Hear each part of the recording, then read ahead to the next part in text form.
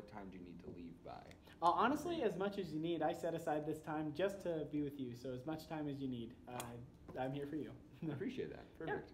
Um, so I am actually the manager for LNI. Um, Mhm. So we're a nuclear company, and we have um, a value of being um, economically friendly. We're, we're government funded, hmm and we we're kind of reaching out to, to local transportation systems. Um, Mhm. We because we are, I guess, economically friendly. We don't want our employees to have to use their cars every single day Right. um, just because of the values of our company. And so we're looking for options in the community to, to fulfill fulfill that request.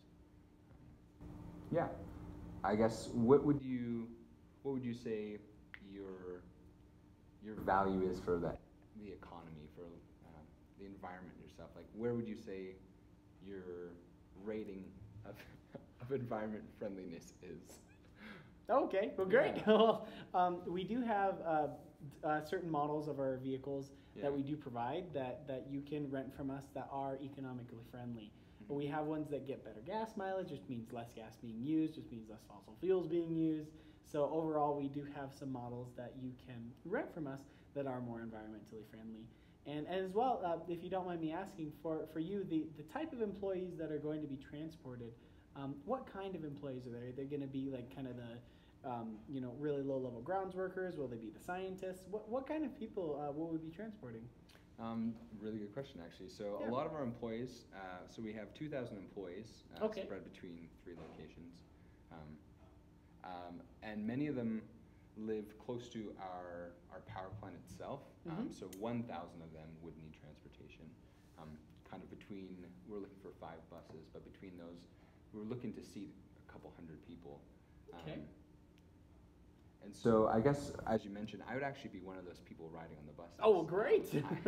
I, I, think if, if you're going to lead the people, you need to be part of them, right? Absolutely. Um, and so uh, that would be that would be what we'd be looking for is, is those people who'd be uh, working either on the ground in the power plant or who'd be within administration, um, those kind of people Great. using the bus systems. Absolutely, awesome. Well, I think I'd like to bring to your attention. I think you've you've taught to, uh, you've thought about it as well, Mhm. um, and that is just to tell you um, some more in depth from my side about um, kind of the model that I think would best meet your needs. Uh, we have a model which we call the deluxe, and uh, it it comes with it that um, there are some great um, things that that come uh, in uh, within the bus that I think would be great for your employees that are coming. Um, you being among them, being a, a high level employee, one that one that deals with sales, Yeah. and as well with other people that are coming in. Um, with with our deluxe model, it's you could say the supreme amount of luxury for for your employees. It could bring um, a lot of happiness for for those who you're trying to uh, to offer this to, um, because. Uh, because of that, it comes with reclining seats that can lean all the way back, almost as if you're sleeping. Yeah. Um, it offers we offer Wi-Fi, USB plugs in the walls for anybody who would like um, to charge their phone while they're on their way to work if they didn't get a chance to charge it. Um, there's also a you could call it a conference mode where you can twist the chairs in, and also it comes with a mini fridge in there that you can choose to stock it with whatever you'd like. Um, if you could like to have snacks or drinks or stuff for your employees, so they could Yeah. be a little bit happier as well. Um, and also it can meet any government regulations that you have.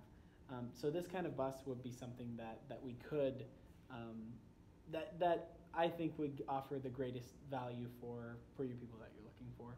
Perfect.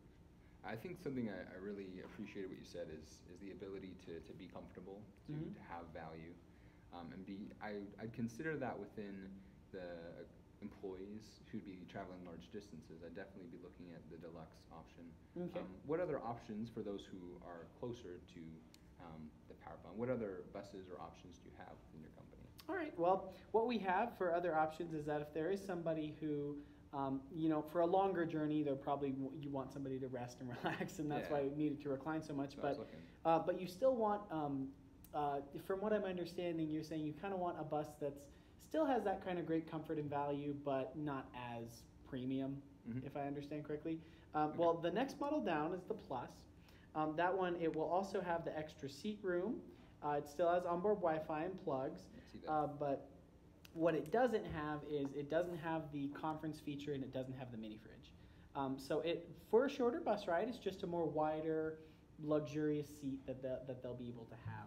so I think that would be better for your for your shorter amount of travel. Thought you were gonna say shorter employees. Shorter employees. But yeah, so I think those two. So um, so what do you feel about about these two buses? Do you think those would satisfy your needs? I think uh, where where I value most is is the needs of my employees. I Yeah, of course. They have a long day. Um, I guess we'd be traveling about six o'clock every morning, Mm-hmm. and I. um, I guess my, my greatest concern, and something I'd actually um, have your, your own input and thoughts on as well, is um, the reliability of your bus services. Mhm. I know that having a bus around five o'clock in order for them to be there for six um, is, is a great need. Mhm. Um, and so we'd value. Yes. Um, and I guess on your end of things, um, with your employees and your buses, um, how, how reliable or how sustainable are the services you offer? Do you, do you sometimes run late, or what is the, the degree of error within your transportation? Yeah, of course. Well, we of course hold our hold our bus drivers to a very high standard, Yeah. and um, through beyond their training and licensing, uh, we do um, definitely have a sense of punctuality that we that we'd like them to uphold. Mhm. Um, but due to that, that's of course on our end the way the way that we see them and we value them. But we want to make sure that you as well um, see that same kind of value, which is why we have through our buses sort of a late policy.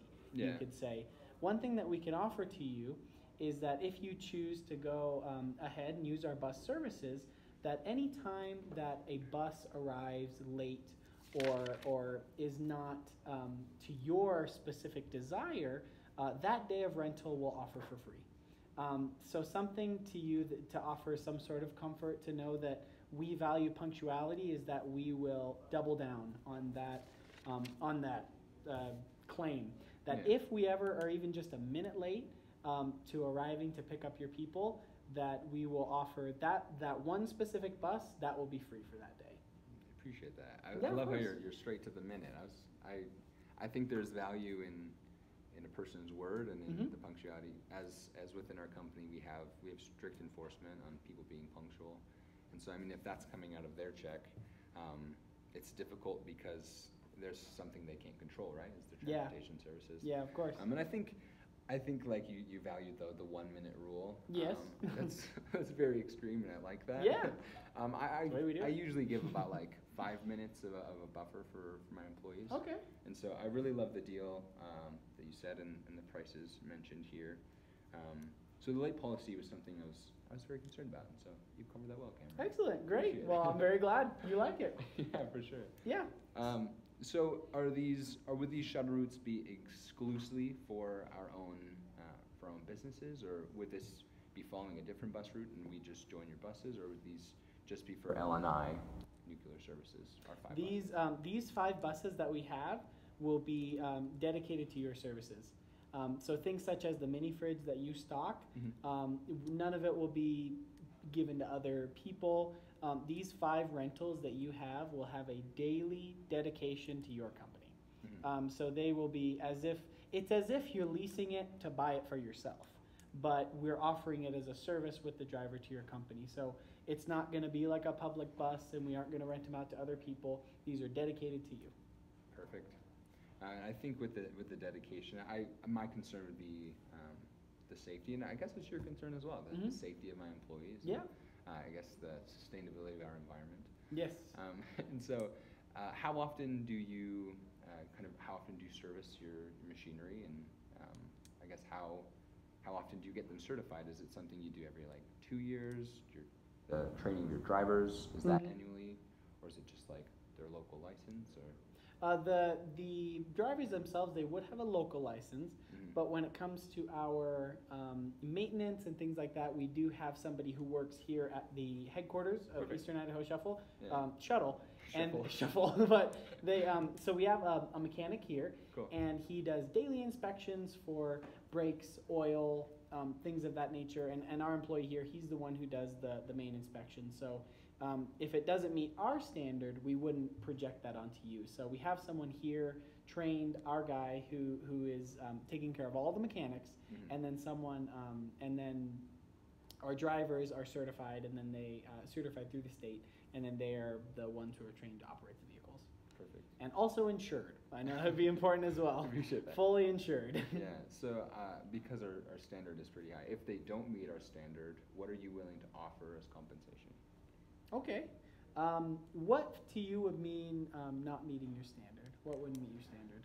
Um, I think because of the environment we're in, I think uh, if an employee, uh, one of your employees, is, is disrespectful or if is uh, verbally harming or I guess being aggressive in any way, um, what is the, the penalty towards that or um, how would you take those those cautions? Okay.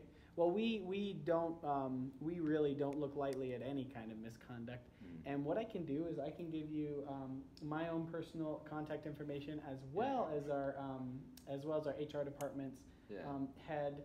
And any type of misconduct that does happen um, that is reported, we we very promptly will um, will report that, and we will personally talk to that driver as well. So here's my personal contact information. oh, I appreciate So that. there you go. Put it in the pocket. Um, so if there's any sort of misconduct as well, we do have uh, penalties for our drivers yeah. uh, through our HR department and someone through me, um, as I offered the sale to you. So if that does happen, I, I'm in immediate contact that you can contact, and we can deal with the driver on our own side. But it shouldn't be something that you have to worry about. Perfect. I guess uh, with me and the other executives uh, being the appropriateness of, of transportation, um, I guess we would also love to implement a, kind of a, a policy. If, Mm-hmm. I guess um, a penalty. The word you use Yeah. is important. I guess within within that year period, um, as we go year to year, um, I think it'd be appropriate to, s- I guess, and agree. What would you think is an, uh, an appropriate amount of times or an appropriate penalty if there are difficulties? Would it be if there's three times a year, if there's five times a year, um, we find somebody else, or obviously we want to engage in a relationship long term.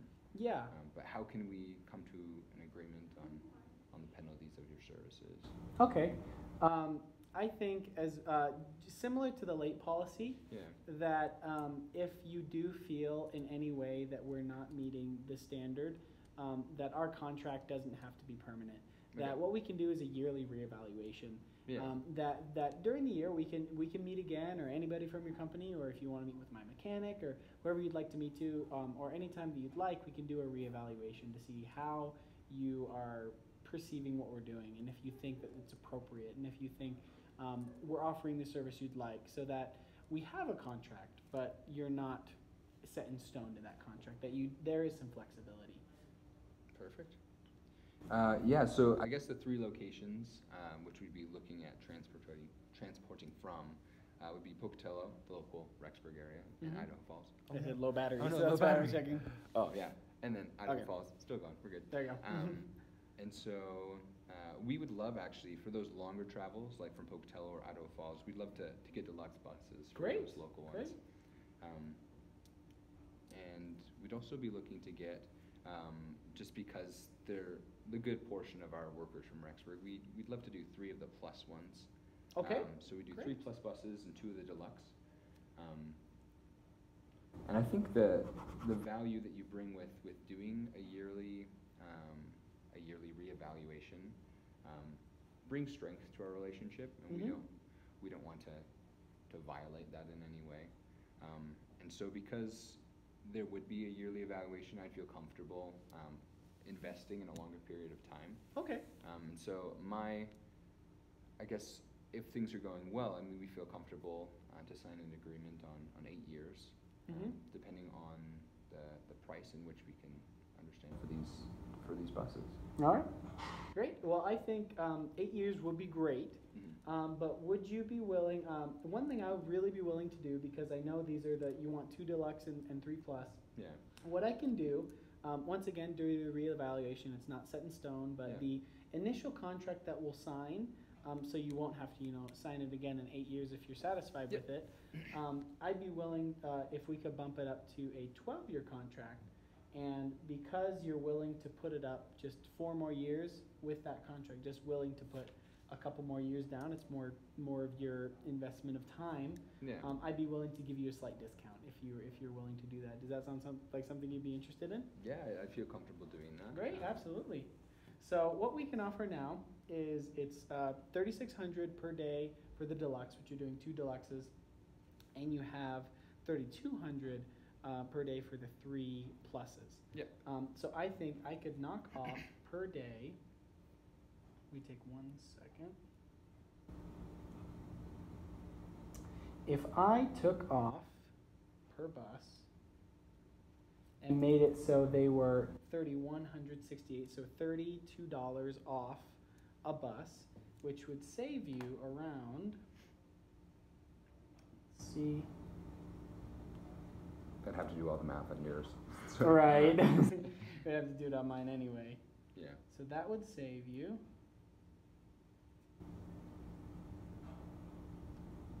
Around a little over a hundred a day, a hundred dollars a day. So it'd save you around a hundred dollars a day um, for um, for each bus. So if you tie in for just a couple more years, once again with still the reevaluation for a twelve-year contract, we could make it so you're saving about a hundred dollars a day. hundred dollars a day on per bus, so that would be thirty-five for the deluxe and thirty-one for the pluses. It'd be a hundred dollars overall. So Okay. the, the cost of the two deluxes and the three pluses, a hundred dollars off of that. Okay, I feel, um, just because of the, the length of our agreement, um, Mhm. I'd love to do a m- more than one hundred dollars off. Okay. Um, Would you consider, um, because of the length of our deal and the relationship we wanna build over twelve years, Mm-hmm.